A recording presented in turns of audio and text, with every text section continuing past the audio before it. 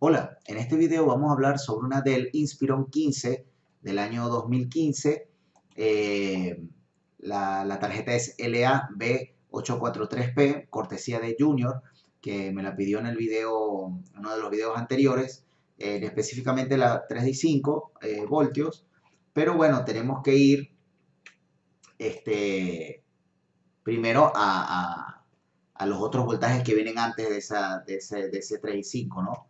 Entonces, si nos vemos aquí, en la segunda página, ven que tienen, bueno, es un equipo muy actual, igual, este, utiliza DDR3L, de 1.35 voltios, eh, un chip completo para todo, y bueno, vamos a, a irnos aquí, nos indica todas las fuentes que tenemos, ok, con sus entradas y las salidas, ¿no? Entonces, bueno, vamos a la página 44. Quiero agradecer a todos su, apoyo, ¿no? En todo este tiempo, ¿verdad? Que, me apoyan comentando, compartiendo, eh, dando las donaciones. De verdad que, bueno, muchísimas gracias. Eh, este es el conector. ¿eh? Entonces, básicamente, bueno, esto tiene un flex y los 19 voltios, bueno, si yo con el, mido aquí 1 y 2, simplemente, bueno, aquí tengo nada, tierra, 0.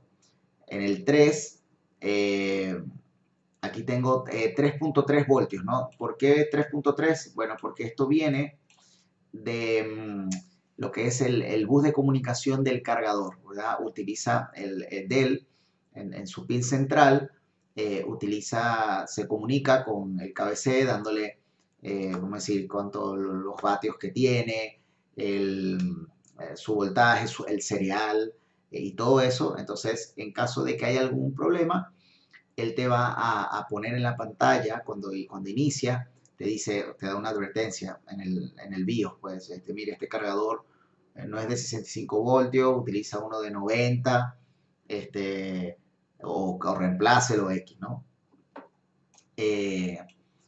Entonces, no, nosotros vamos a tener aquí 3.3 voltios. Em, y en el 5 y 6 vamos a tener 19. Y bueno, ya en, otros, en los otros videos he hablado sobre estos específicos, uno por uno. No lo voy a seguir haciendo porque si no se va a hacer muy aburrido para el, para el que ya tiene un tiempo en el canal, ¿no? Este, si ustedes quieren, eh, vayan a los videos anteriores, ¿no? De la, de la secuencia de inicio, de lo que pasa, cómo funciona un equipo, eh, como son los transistores, estos son transistores, diodos, vayan a todos esos eh, videos y, donde los explico con mayor detalle, ¿no? Entonces básicamente tengo los 19 y se me va a quedar aquí, pero como tengo este divisor, tengo 200.000 y 47.000, me va a poner 3,6 voltios aquí. ¿okay? Eh, lo que me va a permitir es que estos 19 pasen. Además, aquí se llama DCI, después ellos le llaman además, son los 19 voltios que pasó esta, este, este MOSFET. ¿Qué falla puede tener? Puedo tener, bueno, que aquí tenga cero, ¿no? Cero. Entonces, bueno, para yo garantizar que yo tenga aquí 19 voltios, obviamente no puenteo, ¿no? Nada de puenteo. Eh, yo necesito que en el Power Charger AD off que es el que me va a apagar el, cargador, esté en cero. ¿Por qué? Porque al estar en cero, este, está unido, em, este es un transistor digital, ¿verdad? Entonces, bueno, en la base no tengo nada tampoco en el emisor, porque es tierra, cero y cero, no hay diferencia de voltaje, por ende no va a pasar ninguna corriente, entonces no me va a, cerrar 3 y 1, ¿eh? no me lo va a unir, entonces, esto es como si no existiera. Entonces, eso, estos 19, al no ver que hay ningún paso a, tierra, simplemente no, hay, eh, no pasa la corriente y no me une 1 y 3, entonces me permite que este divisor se cumpla.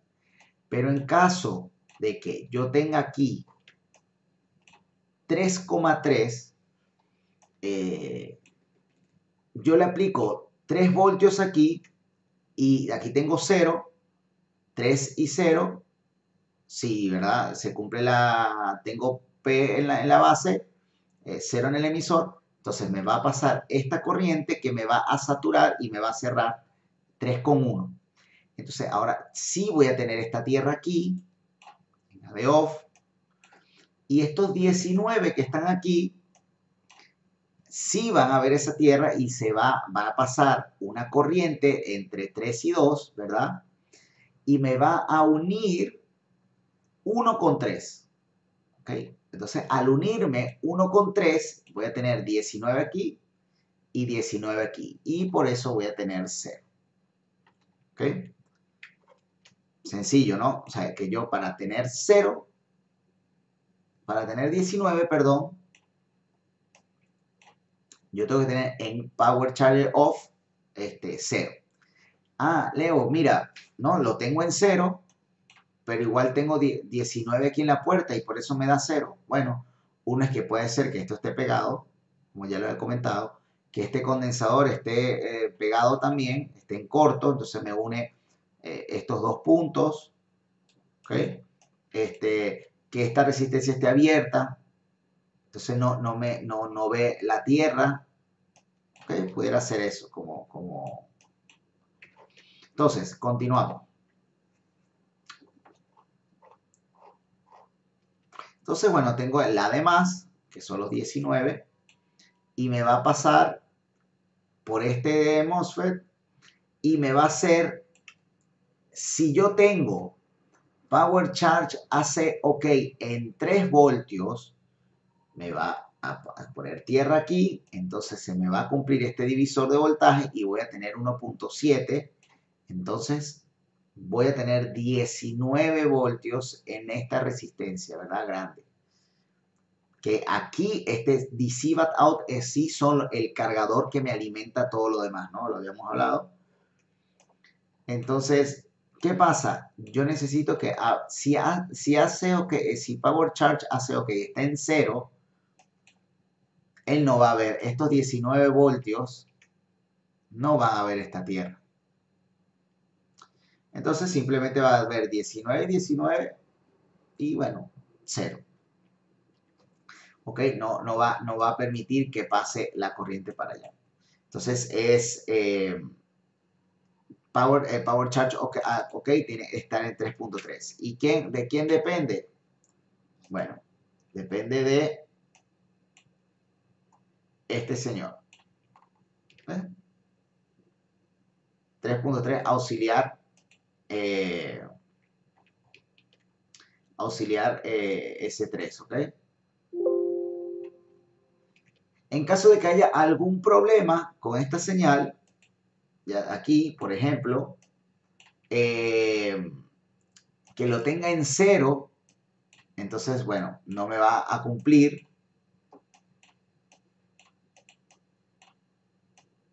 esta condición y por eso no voy a tener los 19 aquí.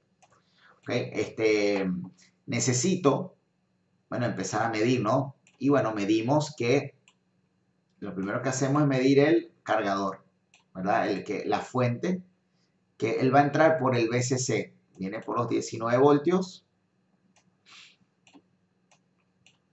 Además, 19 voltios.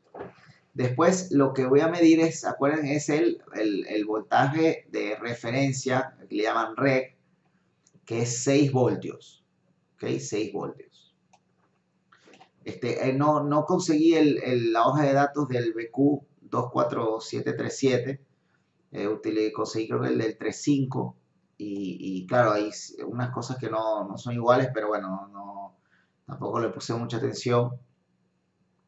Eh, pero bueno, ya, ya hemos visto eh, la mayoría de, estas, de, esta, de, estas, de estos voltajes, ¿no?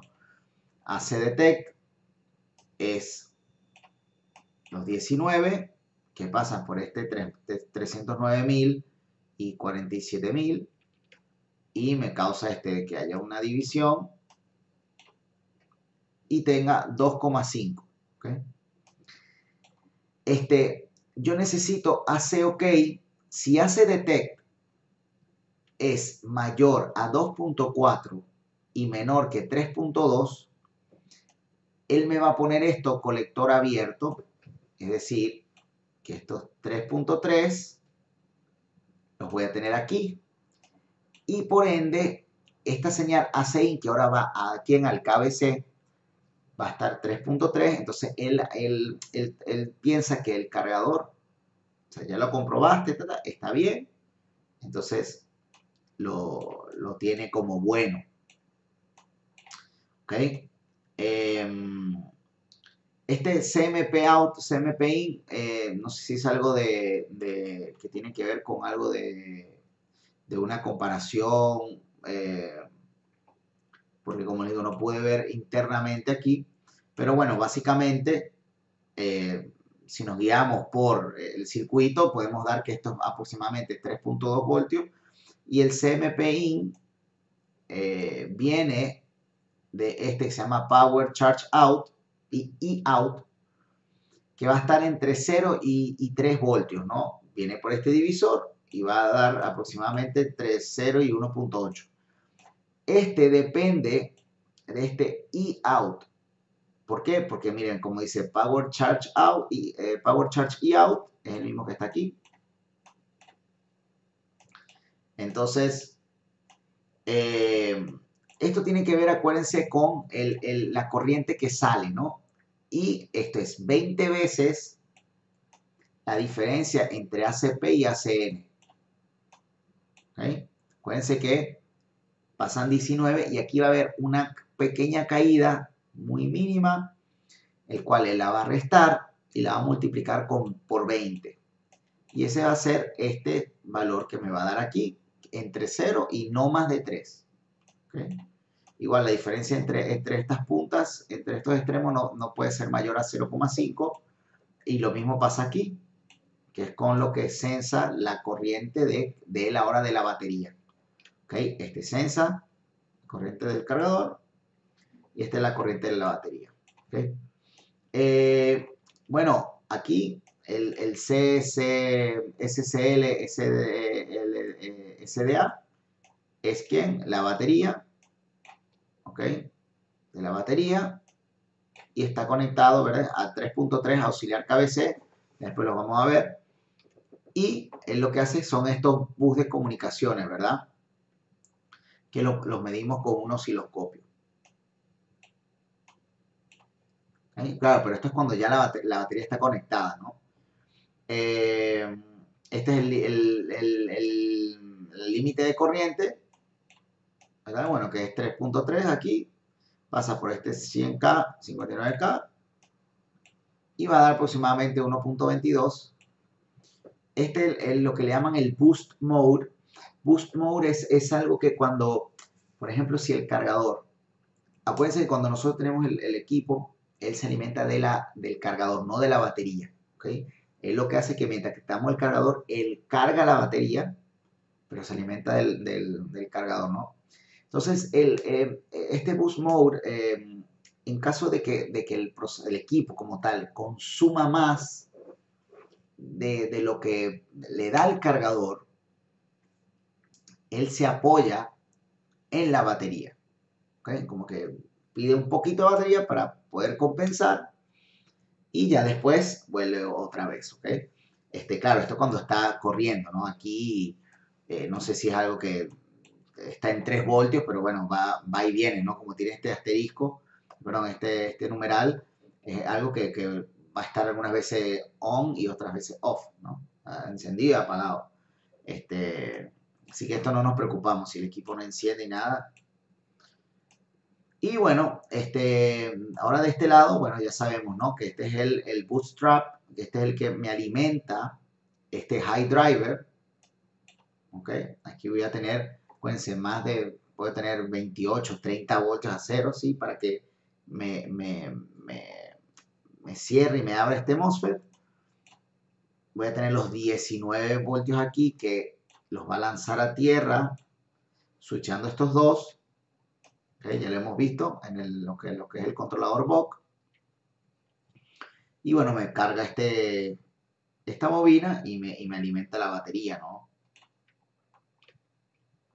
La fase, acuérdense que es la, entrada, él va censando como si, te está dando bien el, si lo que te está mandando es lo correcto. El, low driver, este, el, el de abajo, ¿ves? alrededor de no pasa más de 7 voltios por ahí para poder este, mover este, este MOSFET de abajo. Y bueno, habíamos hablado también ya de esto, ¿no? Que era lo que sensaba la, la corriente de la batería. Y bueno, ya tengo los 15 minutos. Eh, no se me escapó nada. No. Bueno, espero que les haya servido por lo menos este primer video para esto. Vamos a continuar con la fuente de 3 y 5. Y, bueno, cualquier duda sobre este equipo, eh, no olviden escribirlo en los comentarios, ¿no? Y no olviden suscribirse para futuros videos, ¿ok? Muchísimas gracias.